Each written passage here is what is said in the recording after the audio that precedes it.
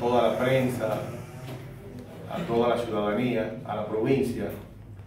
Eh, nos convoca aquí esta oportunidad para hacer algunas aclaraciones pertinentes del lugar eh, en el sentido a lo que fue el proceso de los, eh, del festival navideño que se celebró recientemente aquí en la provincia, lo cual hemos cumplido con el pago de la etapa municipal y estamos en el proceso del pago provincial.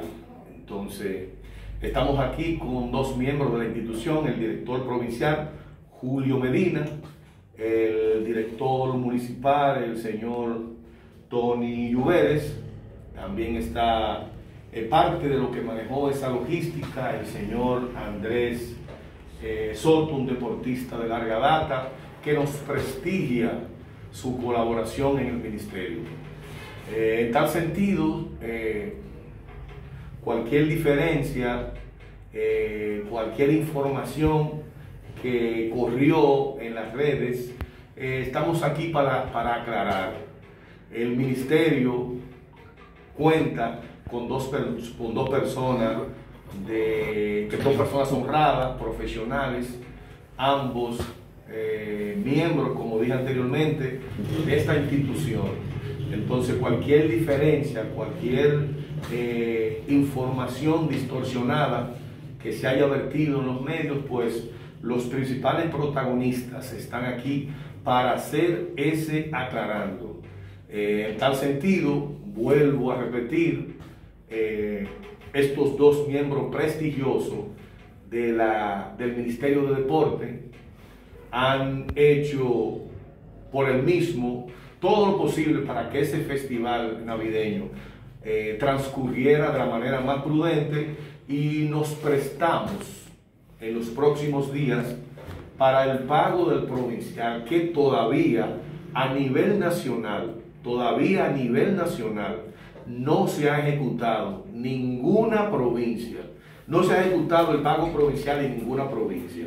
Entonces, en ese sentido, en los próximos días, la redundancia, estaremos, estarán el señor Julio, el señor Tony, eh, yo de mi parte, haciendo el pago provincial concerniente a los juegos navideños. Y yo paso la palabra a ellos para que expliquen eh, con detalles cualquier información que ustedes entiendan. Julio Medina, director provincial. Para mí es un honor estar aquí para aclarar algunas desinformaciones que se han dado. Es un honor representar el Ministerio de Deportes y con él a Francisco José Camacho, nuestro ministro.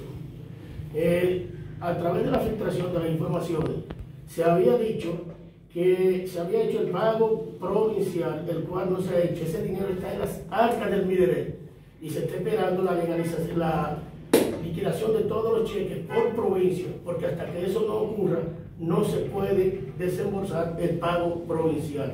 Entiendan esto el señor Tony Lluveres, el coordinador municipal de Sabana Larga, no ha tenido todavía el alcance de topar el pago provincial. ¿Por qué? Porque no se le ha entregado. Ahora, él le va a entregar cuando llegue su debido momento. Pero hasta ahora se considera el señor Tony Lluveres una persona honorable, seria y muy capaz. Con la cuestión de que tuvo que salir a los Estados Unidos, eso no implica nada con su conducta y su honorabilidad. A partir de ahora, entiéndase pueblo Coelho, todavía no se ha pagado la fase provincial ni la regional. Pero de antemano hay que darle felicitaciones a todos nuestros atletas, porque nosotros como provincia alcanzamos la parte nacional, donde un equipo de baloncesto del 3 de categoría femenina y masculino participó en la nacional. No tuvimos la suerte de traer la corona, pero sí, para mí son ganadores todos por haber llegado a ese nivel. Espero que si alguna desinformación llegó a la comunidad, que nos perdone. Pero nosotros siempre vamos a estar dispuestos a colaborar con el hermano Tony Lluver. Tony Lluver, si usted tiene algo que decir, este es el momento. Alguna aclarando también, eh, referente a lo que fue el manejo de las nóminas.